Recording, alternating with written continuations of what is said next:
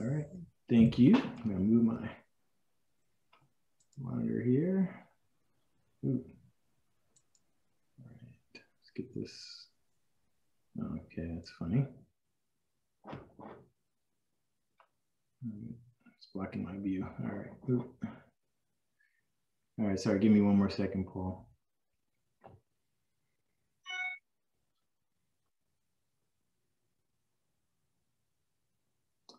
About I just get rid of that? There we go. All right. All right. So yeah, thank you, Paul. And uh, hello, TorCHI. Um, and thank you for inviting me too. Uh, I'm happy to talk to you guys today um, about information architecture uh, beyond uh, navigation, labels, uh, and organization. Uh, I've, I've got two objectives today. Um, and, and one is, is to explain information architecture as an area of study, uh, which is uh, a new sort of framing and positioning that typically um, hasn't really been uh, discussed. Uh, so I'm looking forward to trying to, this is sort of my, my test of introducing this idea. I've actually written about it uh, in one of, one of my posts, um, which I, it's an actual live post. I'll talk about it later on. But this is a topic that uh, I've been uh, pretty much working on for, for a number of years. Um, and uh, the second that I'd like to do is to suggest um, how to integrate information architecture thinking into your design process um, or and to improve outcomes uh, if you're not already already doing it. Um, I'd also um, want to show you what I'm doing in this space as well. So I'll, at the end, I'll kind of kind of bring it home and show you what I'm doing uh, because information architecture, as you'll see, um, it is a very um, widely practiced uh, field and, and, there's a lot of variety to it and there's a reason uh, for that. So uh, let's get going. Um, a little bit about me, uh, which actually I'm going to skip because Paul just said all that. So yes, I'm an, an independent contractor and uh, I'm very interested in information architecture theory the science and the practice and how those three are uh, interconnected because it's very important uh, for continuity in, in this practice. So, uh, and I'm also um, uh, very interested in the software uh, for um, uh, building conceptual, practical conceptual models. So in my spare time, I do dabble into to code in order to try to build tools that actually help me to, to um, do my work better. Um, as it pertains to the origins of information architecture, um, the term information architecture can be credited to Richard Saul as many of you may know, in the early 1970s. And his goal was to improve really his approach to reducing complexity in an effort to understand something uh, um, for his clients or to a larger audience of readers. Um, understanding was central to Wurman uh, and how he got to what he um, would say, how he would get to understanding. Um, and it was a journey that was more, it was the journey that was more important than the problem in some cases for Wurman. Uh, was more interested in the conversation and only expanded his audience by, uh, by those who were also interested in his conversations. And as most of you probably know, uh, Wurman found the, the TED conference. Um, he never tried to build a new discipline or practice except for his, his own edification. Uh, later in his career, however, you know, he began to recognize how others were tackling similar challenges, and but in different ways. And so I think he began to embrace this idea um, that there was a larger interest around what he referred to as making the complex clear. Uh, by the end of the 1990s, Richard Saul Wurman never tried to articulate or frame uh, an approach to fostering broader formal practice, but his perspective and approach can still be classified as being part of the genre of information architecture that we'll be expressing, uh, or that I'll be expressing um, today. This brings us to uh, a new use of the term information architecture um, that surfaced in the late 1990s. Um, we actually find a more concerted effort around information architecture as a, as a term and as an idea with the writings of Peter Morville and Rosenfeld, um, who reintroduced the term to the general public. Um, they were not influenced by Wurman's work uh, necessarily or per se. Their perspective was mainly driven by library and information science. Um, however, they, they were connected to Wurman by relating the work that they did uh, at the level of, uh, uh, of architecture, right? And, and Wurman was an architect. Um, the difference here is that Peter Morville and Rosenfeld were trying to um, uh, to address an issue and a problem that extended way beyond themselves, uh, um, unlike Wurman, who was very um, uh, more self uh, centered, but in a constructive way. I say that as, as not as a critique, but um, uh, Peter and Lou were thinking about an issue that was affecting millions of, millions of people uh, and businesses um, that were challenged with dealing with scale and complexity uh, with web uh, browsers and web interfaces. And so this is where I want to start in the conversation about information architecture. The aspect of scale and complexity that Peter and Lou were tackling um, was affectionately referred to as the pain with uh, no name. Um,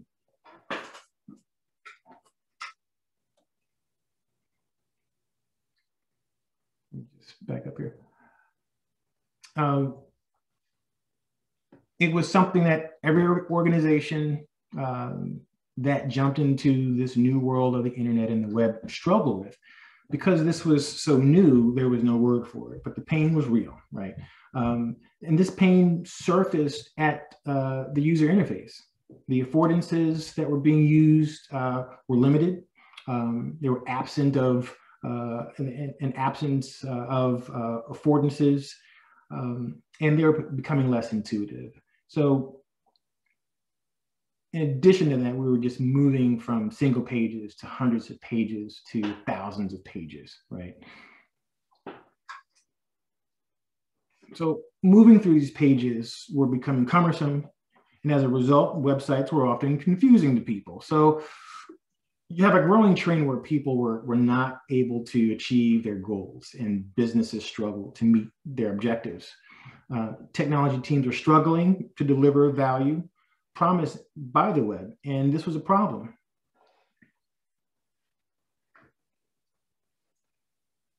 In uh, 1998, right, uh, it was this book uh, that helped technology teams uh, to plug uh, a major hole.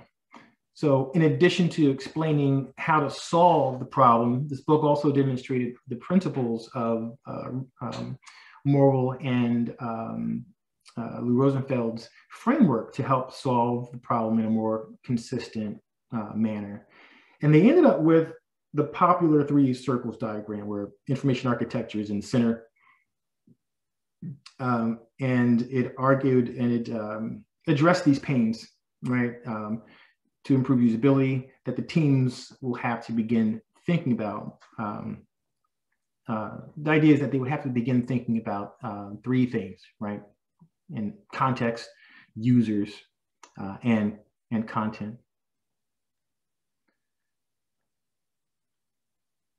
Now, the focus is not on the user interface, right? Um, but on the conditions that lead to the UI.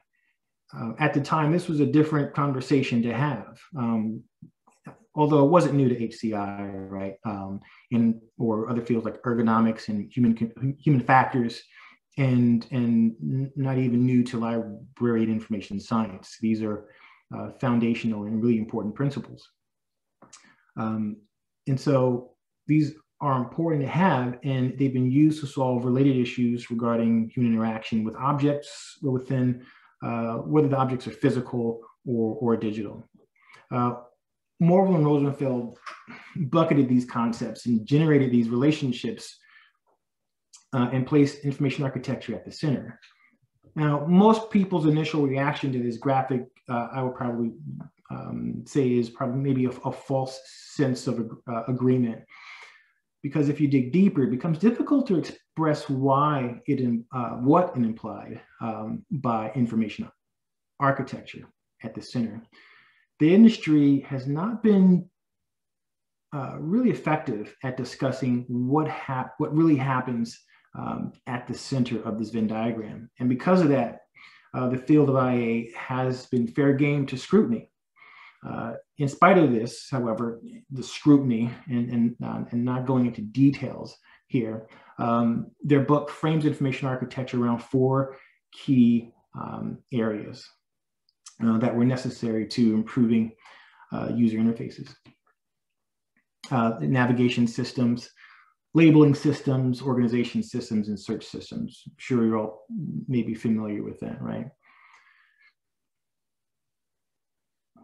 Now it's worth noting that uh, here that they didn't just say navigation, labeling, organization, and search, but they added the emphasis around the idea of systems and, ex and expressing these systems. So the polar bear book, right, um, was meant to be accessible to a wide audience. And that's, that's what I'm assuming here. And, and I would guess that probably 1% of the readers of this book were non-IA uh, or, or 1% were IA specialists, right? And the another 99% were a very broad general audience. Um, so consequently, then and now, almost two decades later, there's been little, little effort in the field to define what would be considered uh, acceptable systems, right? Systems for navigation and systems for labeling, systems for organization or search uh, from the view of, of this practice.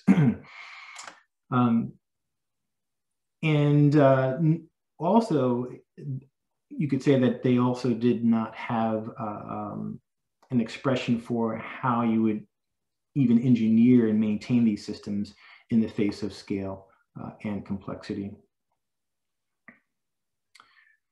Um, so for, for, more than two decades, the field has fallen short to express its intrinsic value to the broader field of human-computer interaction and has struggled as a victim of its own success. Um, humans have a natural propensity to simplify complex uh, uh, problem spaces by reducing them to smaller digestible parts. And the same was true for information architecture. We ended up with wireframes, site maps, and taxonomies, uh, labeling strategies, and anything else you could fit into an Excel spreadsheet. Um, the artifact became the remit of information architecture. Uh, not the value of the process by which the hidden relationships were revealed uh, and by which those relationships expressed um, or were expressed to drive um, out outcomes and better outcomes for teams.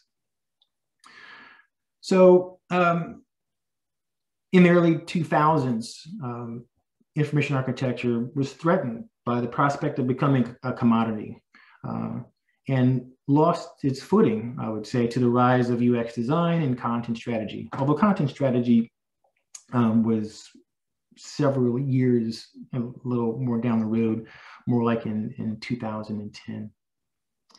Uh, so between 2000 and 2003, information architecture was just getting hammered. Um, um, by, by critics who just were not sold on deeper value of information architecture. So, um, and by 2003, the field was exhausted of intellectual discourse and debates, and they were going nowhere. Um, this actually, this piece is, um, there's a, um, a poster that I have on my site where I do some um, uh, tracking of uh, some of the key uh, frames around um, the schools of thought of information architecture um, in, in some of the earlier years. And so this is a snapshot of um, showing you this. I have to come over here so you can see my mouse. Uh, essentially a, a massive void of activity uh, of papers that just were not being written. Um, let's see.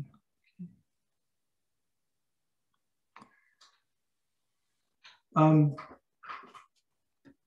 while time was moving on, the community still continued to discuss and hold professional conferences, uh, but the intellectual void persisted until about 2009. Um, uh, the return to debating the value of IA was reignited uh, when the IA Institute um, contest um, was put on to reposition uh, information architecture. Uh, some of you might remember, I don't know how many of you uh, remember the dinosaur ad, but this was this this particular.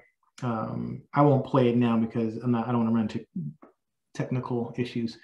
Um, but uh, this entry actually described information architecture, but also described in this in its description of, of information architecture, it also described the pain of having to describe information architecture, which was pretty funny. Um, oh, here we go. Mommy, what do you do for a living? I'm an information architect. It's just like real world architecture, except we build computer interfaces. Do you make the interfaces pretty? No, that's the designers. Do you make the interfaces work? No, that's the developers. This is information architecture. Just like how Frank Lloyd Wright designed famous buildings that everyone loves, famous information architects have made.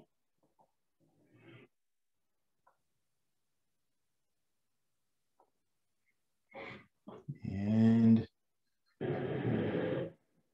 What do you really do, Let's say an interface is like a house.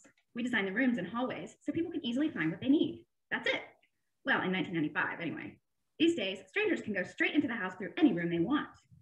That's scary. Let's start over. Another way to describe it is that we organize interfaces and their content. We're like librarians. We tag and sort everything so people can zero in on the things they're looking for. Don't people just use Digg and Facebook and Twitter now? Don't even get me started. How about this? Let's ask the author of the book, Information Architecture. You want another fucking definition of information architecture? I'm so sick of defining the damn thing. All right, I'll give you one. It's a bunch of fucking clumpers clumping and a bunch of and splitters splitting. Is that good enough? That's good. Uh, I guess. But remember what Jesse James said at last year's Information Architecture Summit? The web is like clay, raw material that we shape into experiences for people.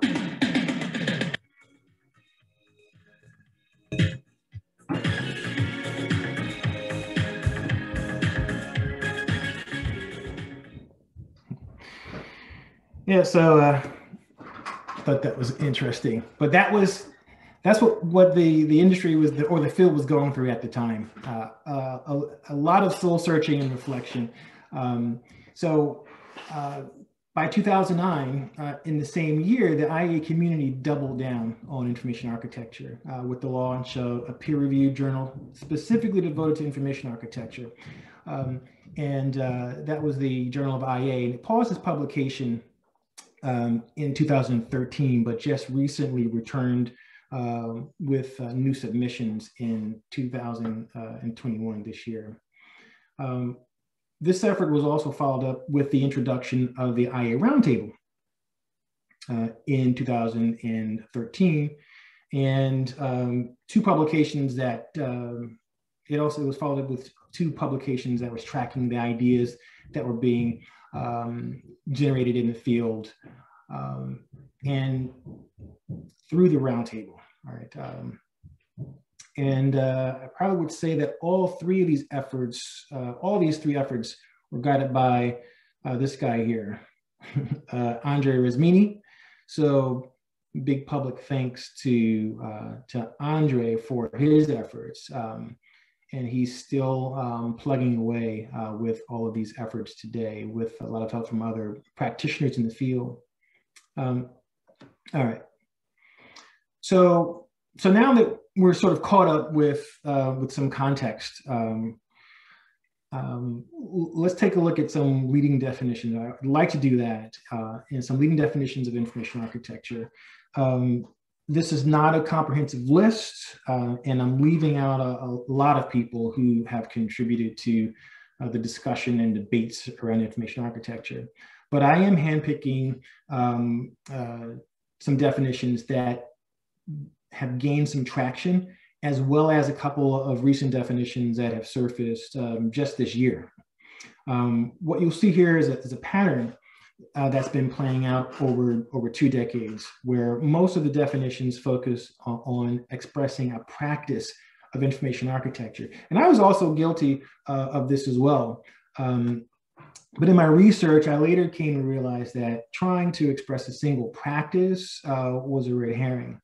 Um, fortunately, uh, we'll get past this uh, to embrace what I think is a, um, uh, a foundational representation, or that, something that can stand as a foundational representation for the field um, of information architecture.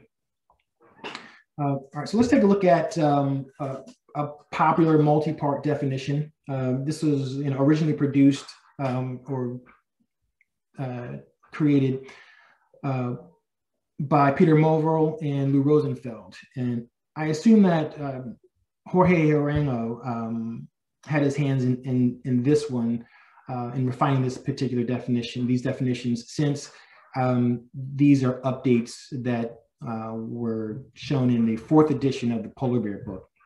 Uh, the structural definition of shared environments uh, has been fairly consistent um, uh, over the different iterations of the book, and, and nothing much is, has changed there. Um, there's still a concept of structure uh, and the idea of shared environments, you know, that naturally gives rise to these complex, uh, complex scenarios. Um, in the second bullet uh, of this multi-part definition, um, they replaced combination with synthesis, uh, looking back at the previous um, uh, edition. And I think this is I think this is an improvement because it helps to bring focus to the uh, idea um, uh, of synthesis, where common the the word combination really just expresses relationships between organization, labeling, right, search navigation systems. Um, so for me, I think that they they made a significant improvement here uh, that helps to give way to um, a, a, more sophisticated idea. Um, and this it's focusing on the actual um, uh, uh, uh, synthesis for these, these uh, different concepts. Um, this list, uh, the last bullet is also fairly consistent with previous versions. This helps um, to express the scope of information architecture beyond the bounds uh, of working um, beyond working beyond working with more tactical issues, right? That you might come across um, in some of the previous bullets, uh, and also allows the um, uh, the, the flexibility to sort of to, to work in different types of spaces that go beyond digital. Um, um, in a 2012 essay, um, this is Jorge Arango. Um, Jorge Arango posited that uh, information architecture is the intentional composition of nodes and links uh, as organized structures that facilitate understanding. Um, and so I'm highlighting some of these really important key concepts uh, that are that play out and that are central and that have really been um, uh, concepts and ideas that we've been seeing over the years. We've just been saying it, we've been saying it differently, but the fact that we constantly repeat it, uh, these ideas um, are ex expressing pattern that we really should should take note on.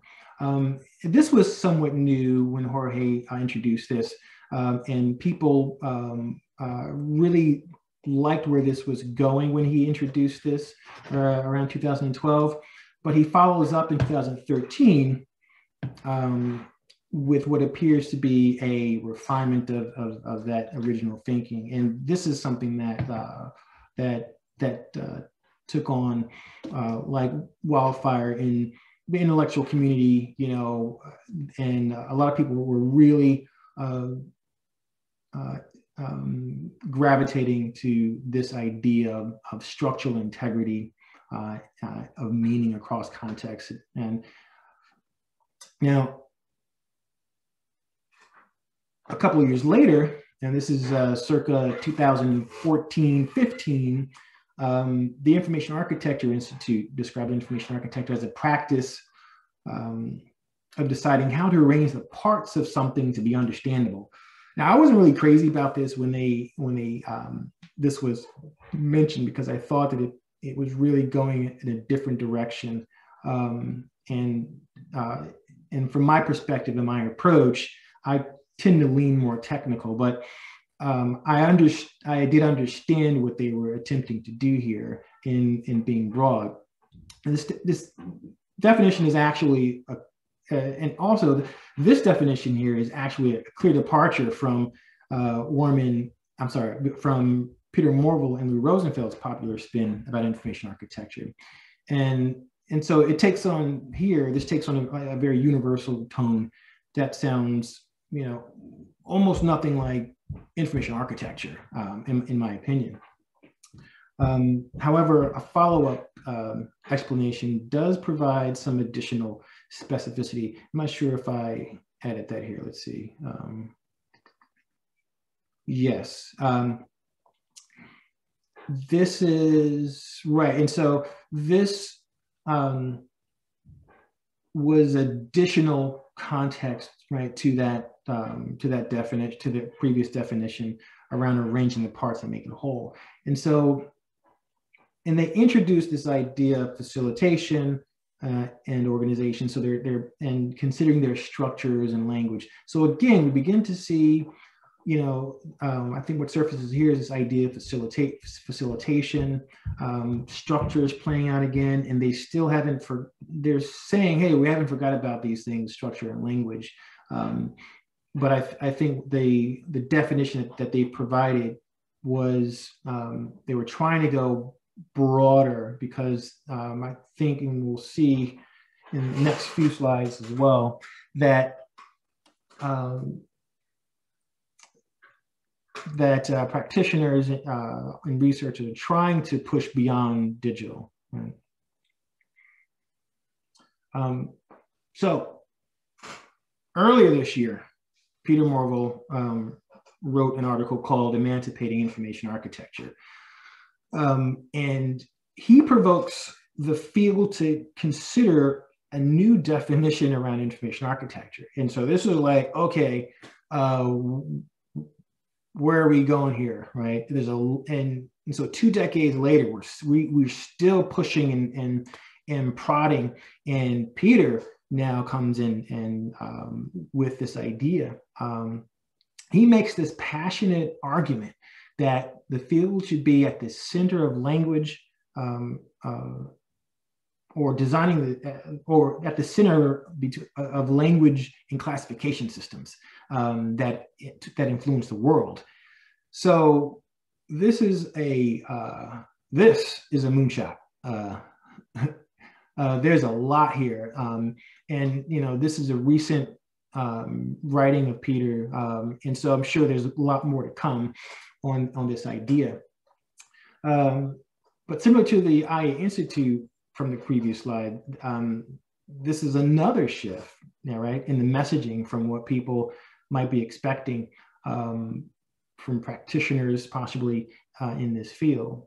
Um, but, but underneath Peter's aspirational vision for the field, there's still a thread that uh, is connecting what Peter Morville um, is trying to do um, for the rest of the field. Um, again, there is there's some uh, there's not too much different in terms of some of the key concepts that we find in the uh, in in these descriptions. Uh, the context uh, seems to be um, changing slightly. Um, the most recent uh, public um, positioning of information architecture um, that's worth noting uh, uh, was offered by Jesse James Garrett, um, who states that information architecture is systematized understanding so that insights can be scaled. Um, here we see uh, more mention, mentioning of systems uh, and its relationship to promoting scale. Um, he also goes off to say that IA practitioners are, um, or I think he suggests that they would they could be stewards of understanding um, and uh, who take the association between this the association between ideas that give meaning to human endeavors and makes those concrete. Uh, there's a video out there, and I'll also in, include uh, all the, uh, the, the links to uh, everything that I'm citing here, so that you guys can um, go deeper if you want to and, and listen to uh, these videos or uh, read some of the articles that um, that I'm talking about. lastly, um, I want to point out a survey that was performed by Austin Govella. Um, he surveyed uh, attendees from the 2020 Information Architecture Conference, and the results show a wide range of concepts that people associate with information architecture. Um, the survey shows there's an extensive uh, vocabulary when it comes to detecting or, uh, to describing information, uh, describing information architecture uh, as a practice. Um,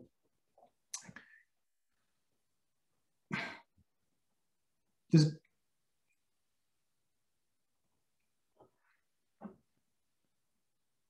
let's see. So uh, okay. So in looking at these so if you if you look at these um, you can begin to see the the potential challenge here. I mean with all the definitions uh, and ideas that i mentioned earlier um, and even when you have even more individuals who are um, uh, coming together to express their ideas about um, uh, the field and what they think some of the core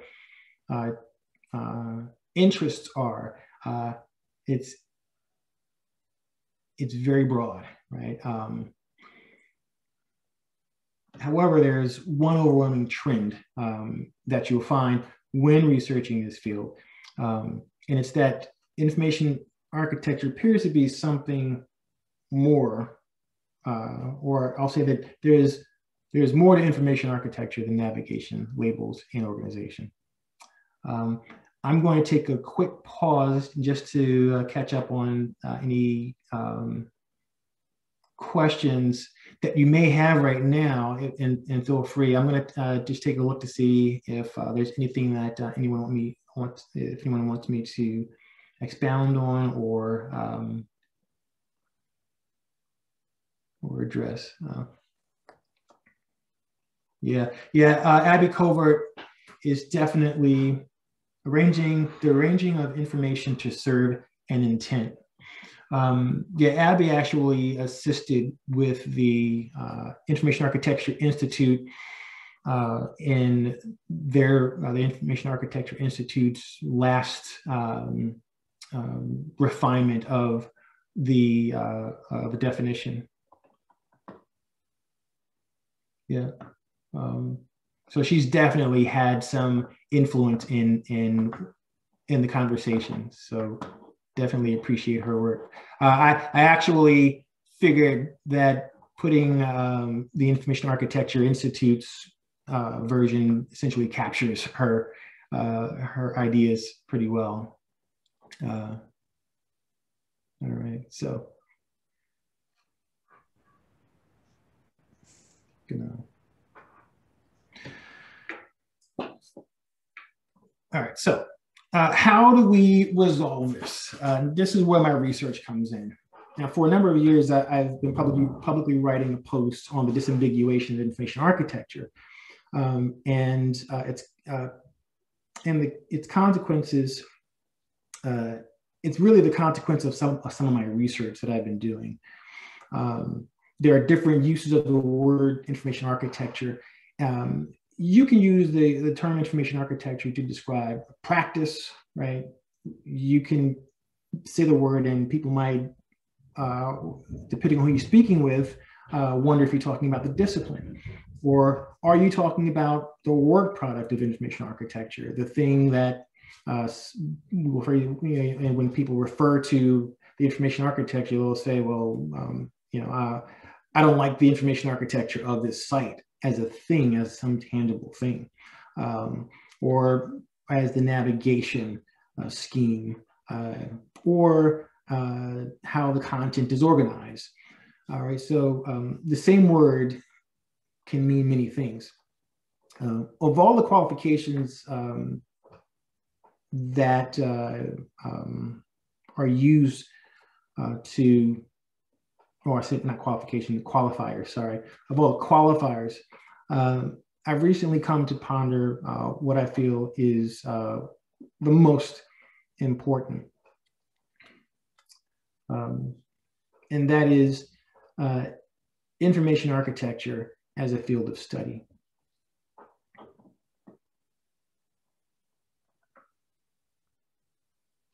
Um,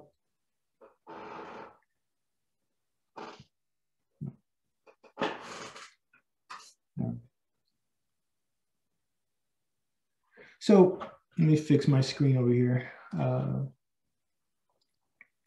so my proposal um, to the industry uh, and to the field is that information architecture is a field of study um, uh, that is concerned with facilitating shared understanding and alignment with conceptual clarity. I think uh, that sentence needs to be fixed here. Uh, so let's look at some of the uh, the key concepts of, of this this definition. Um, and to do so, we'll have to go down a few levels before uh, this starts to beginning before this starts to make uh, some sense, and we can look at some of the dependencies of this. Um, so key uh, to this idea um, are two things: um, shared understanding and shared alignment. Um, the field is very interested. If you look at the history and you look across um, all the different um, uh, um, essays and, and, articles that have been written, and one underlying idea is that the that that the understanding that is is achieved is one of shared understanding of across not of across multiple um, participants within uh, a particular domain. And the same is true for alignment. It's how to facilitate shared understanding and how to get to alignment. In order to, um, to do this, understanding has a dependency um, and it has to consider um, consensus and it also has to drive at synthesis. And this understanding is really about uh, the domain, right? Um, this is the focus. Uh, when information architecture practitioners are uh, engaging, they're interested in, in two things, or, um, uh, they have to pursue consensus and synthesis or, uh, within the domain. And um, as it pertains to consensus, the idea, well, what are we trying to gain consensus around? Um, and trying to gain consensus around the context and the language within a particular environment. Um, the context uh, essentially is the boundaries. Uh, information architecture practitioners are driving at, um, at these, uh, at trying to understand where do you start, where do you stop, so that that provides that context. Um, and uh, and then looking at the um, uh, the language that is establishing a uh, also establishing a degree of context and limitations to, to a particular environment. Um, Andrew Hinton actually come to mind uh, when uh, I say that. I just said that and I thought of Andrew Hinton because uh, Andrew Hinton talks about and has has spoken in the past about uh, um, how language can become this construct to establish uh, context. Um, so these are these are ideas that are central uh, to uh, to the process. Um, when we're thinking about synthesis, uh, what are we synthesizing? We're synthesizing uh, the behaviors that are playing out in this space, right? Uh, and also, and those behaviors are tied to things that people are doing and the way that people are expressing themselves through their emotions and through their feelings, through their um, ideas and perspectives. And these play out. Uh, and so the, the when a, a, group of individuals and people come together to try to understand a domain, it's important that uh, these behavioral um, uh, aspects and properties that are playing out are, are observed and seen, and then everyone comes to, uh, to, to, to, ground themselves in the behaviors that, that, uh, that are the focus uh, of, of their, their goals. Uh, and then lastly, in this area of synthesis is the content, is making sure that there's a there's an understanding of what um, uh, artifacts people are actually uh, using in a particular space. Um, when you have that, when you can sit down and, and um, uh, provide this overview and then uh, discussion around all of these uh, these particular aspects of context, the language that's being spoken, um, that's playing out, the meaning of things uh, that are um, that is playing out within that domain, and the behaviors, what people are doing, uh, and in the content, the things that people are using, that gives you that um, um uh, perspective that everyone can can come to the table and and um, be able to agree upon. That typically leads to um, um, an artifact that uh, uh, practitioners use is a model, right? Models. And this goes back to, you can say, the nodes and links, boxes and arrows.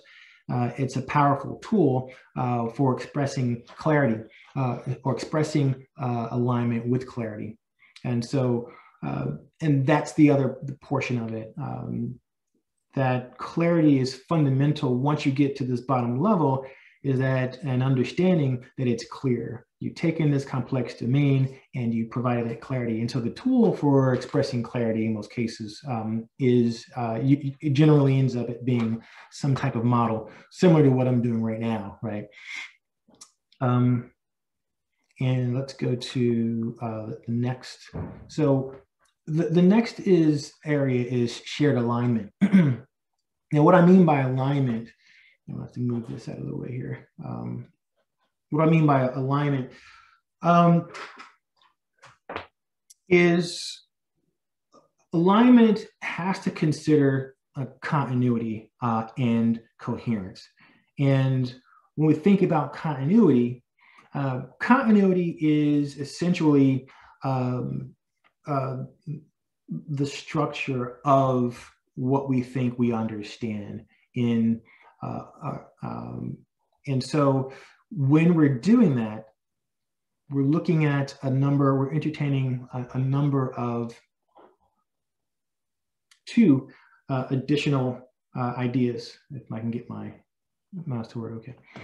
Um, in continuity we have to consider the interactions and the topology Interaction simply means the rules for why a, uh, um, something is behaving. And uh, considering that, because those considerations will drive the actual interaction, the tangible interaction that a designer will design for, design to. So those rules need to be there. If those rules aren't there, it makes it difficult to uh, know exactly what type of affordance someone needs uh, for, if we're talking about interfaces. Um, and, um, uh, and those rules have to be uh, considered. And uh, the other is in topology. And topology is the idea of this, uh, the rules around um, the spatial arrangement of either, it can be um, uh, words placed next to each other or categories of things placed to each other um, or um, ideas situated uh, near each other, but a way of uh, understanding um, how to express the weight of the meaning of things for a designer who has to um, uh, deliver an, uh, um, an aesthetic uh, interaction or, or, engagement to a user if we're talking about uh, user interfaces. Um, so, um, and, and here, I want to make sure that, you know, the idea here, we're doing all this without touch, without doing anything that's visual. Um, this is about giving these inputs to user, uh, to uh, designers um, and enough insight and understanding uh, and rationale so that they can actually design effectively. Um, the, uh, the next is in terms of alignment, aligning, um, alignment has to consider the coherence of the constraints and intent. Um, and so when we're thinking about constraints, these constraints are, are uh, for the constraints in, uh, around, um, or actually the constraints for everything that we've uh, uncovered uh, from the left of this, uh, uh, this model. and sometimes the constraint can be a framework that, that um, such as a mental model, for example, um, that scopes out uh, the domain in a, in a high level and very simple way that provides guidance for designers, for product owners, uh, for the businesses, for the entire team, so they understand the, the mechanism that is playing out uh, in a particular domain that you're trying to design an interface for. And then lastly, uh, driving at coherence uh, of the intent. And the intent essentially is um, uh, a rationalized, what I call rationalized objectives. Um, and it's the core uh, objectives that are um, considering all the factors. Um, let me see here. So just want to see, okay. Now, all right, so that was a lot. uh, and uh, so I'll talk about Jared Spool. Jared Spool, um, several years ago, um, he uh, he said that design is the rendering of intent, and I have no issue with this definition. Um, and it's gained um, uh, some traction over the years and has provided actually a great segue for discussing the value of information architecture or the lens of it, or what the, uh, the, uh, the, lens of information architecture can bring uh, to this statement. So we'll go back.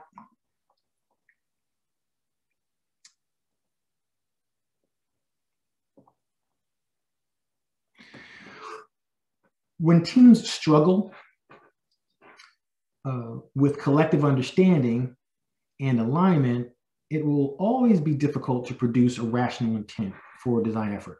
Um, without sound intent, design is certain to fail. intent must come before the design because design is the act for generating a solution to a desired intent. Fortunately, based on what we've reviewed, hopefully, um, you can see how the study of information architecture can squarely address um, this idea of intent. And when we look at what interests, what are the, the core interests of information architecture as an area of study, um, we see that intent is part of that story. It's an important area of interest. We know where it is, and uh, we know why it exists. And intention can only be rationalized when everything else to the left is thoughtfully considered.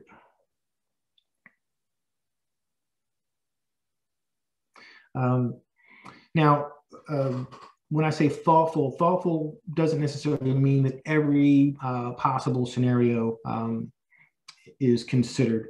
Uh, it, it, means that enough has been considered to successfully to be successfully accountable or confident in any risk presented by the stated intent.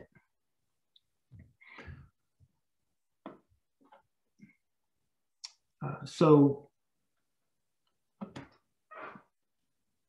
two areas, these are two areas essentially where information architecture uh, as an area of study can provide value to teams that are uh, that are trying to design uh, digital products and uh, where these ideas or the information architecture lens uh, fits very well is in the area of the strategy side uh, that is working with intent that I discussed, and uh, the others realized as structure.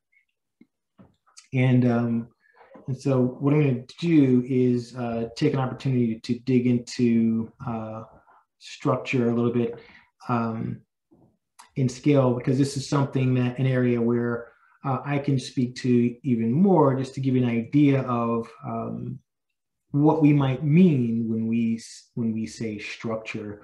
Uh, because as I mentioned earlier, um, one of the things that this field has not been able to do or has not done enough is to really talk about structure and understand and, and to be able to express what we mean by it.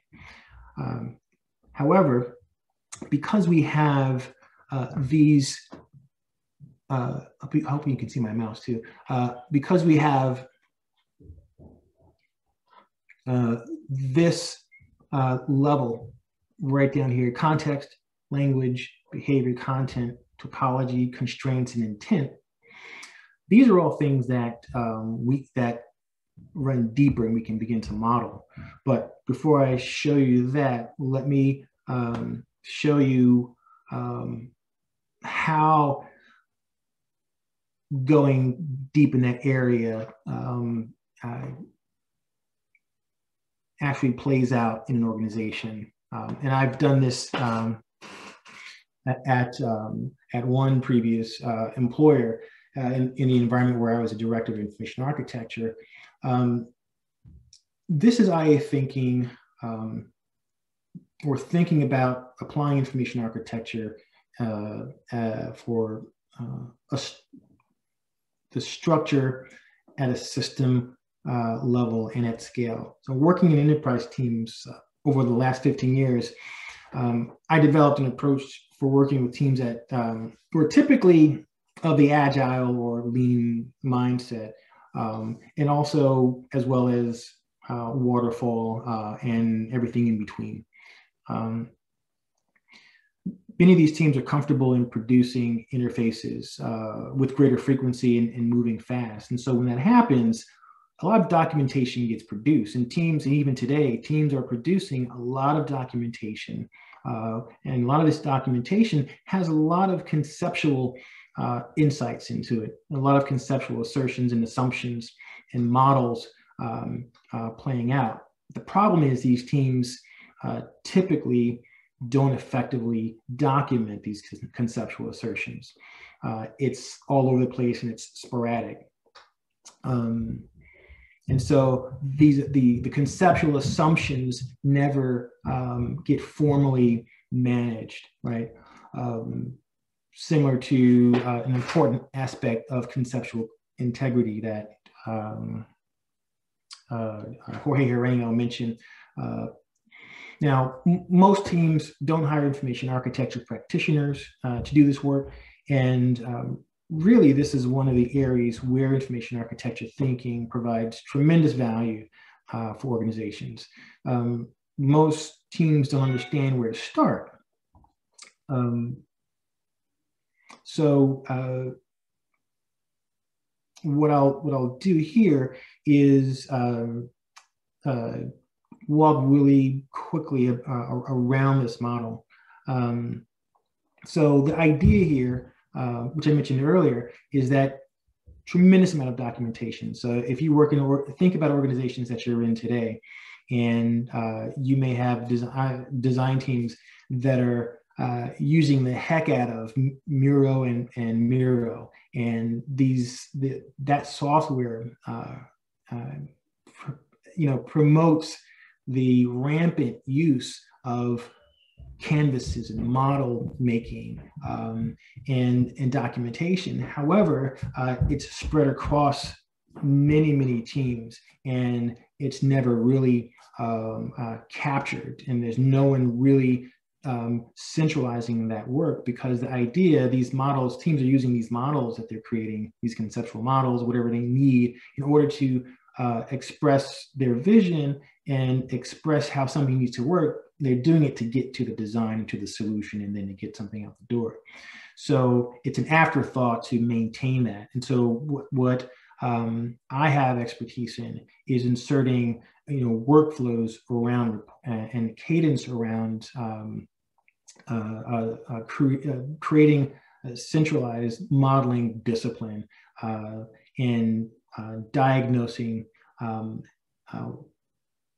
what that structure looks like. And that's the thing, you can't really diagnose a structure until you begin to put all the pieces together. And uh, and so the first thing is doing this inventory of, uh, of all of the, of the documentation and slowly over time, and it takes a long time it, eh, to uh, begin connecting all of these uh, um, conceptual models because there is a connection. If you're in a company uh, and your company has multiple products, typically those products uh, crisscross and services crisscross or uh, the operational side of the business is, is, is connected in some way, their relationships. And so by having a practice of modeling all of these different relationships, whether it's um, users uh, or if it's business, if it's um, uh, uh, content, um, you eventually build a much richer perspective of what's really happening under the hood from a conceptual level.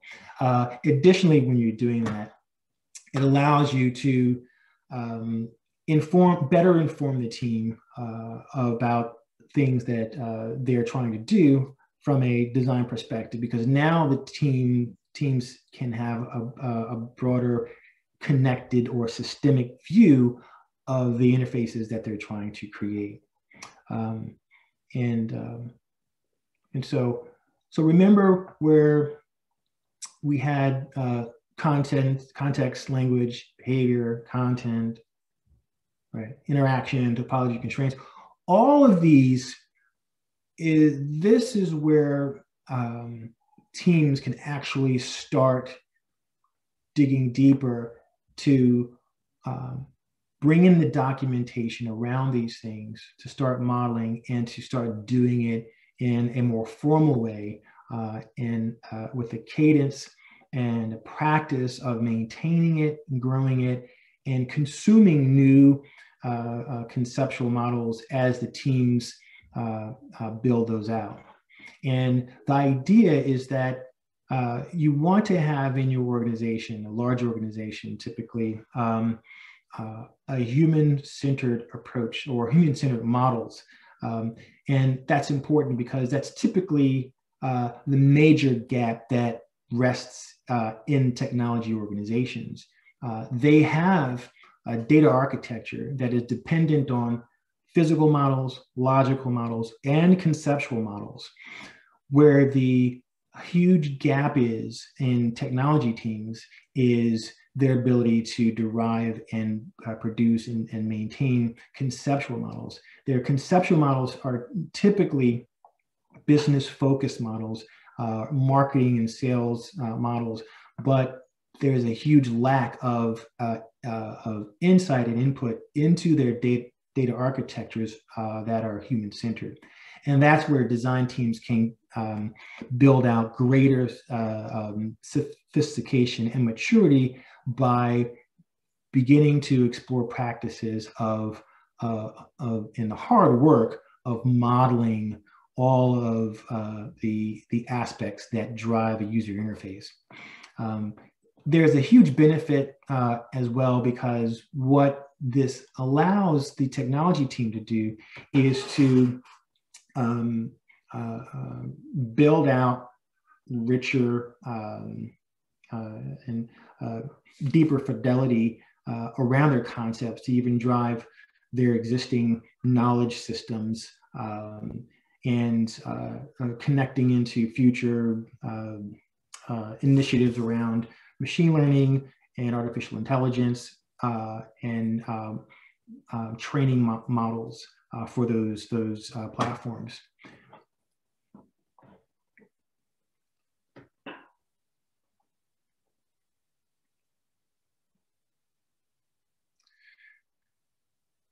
So information architecture, to, to close this out, um, it's, uh, it's an area of study uh, that, uh, that's good for design teams or any organization taking on complex problems. And for more than two decades, practitioners have advocated beginning any project with uh, an IA lens. Um, I want to be clear that the definition uh, I presented here is an expression for information architecture as an area of study. It's not meant to express uh, a practice of information architecture.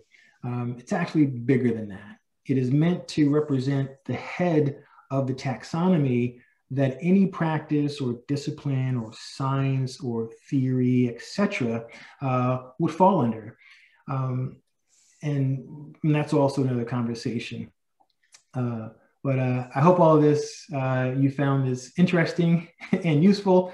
And uh, thank you.